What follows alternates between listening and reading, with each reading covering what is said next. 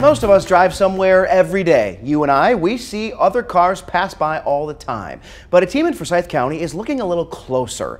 They want to bust drug and human traffickers. It is called the I-Team or Interdiction Team. And many of people, like you, have questions about how it works. WFMY News 2's Jansen Silvers is digging deeper to find answers. Well, you have questions about this I-Team, and we wanted to do our best to answer them. Tim Free says borderline entrapment. But what is it exactly? We went to someone who knows the law for the answer. Entrapment is more of a situation where a person is put in a situation where they break the law and they otherwise would not have done that but for law enforcement putting them in that position.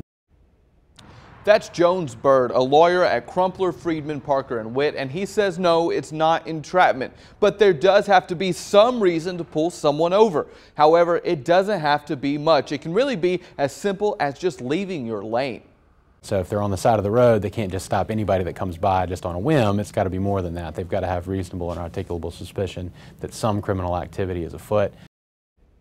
And then another viewer, CK Lanning, says, quote, false, they are just trying to generate revenue by ticketing people. I spoke with the sheriff's office and they said it can be a good way to bring in money because if you seize any of that drug money, they are able to repurpose it. But let's be clear. The I-Team's purpose is stopping drugs and people from being trafficked, not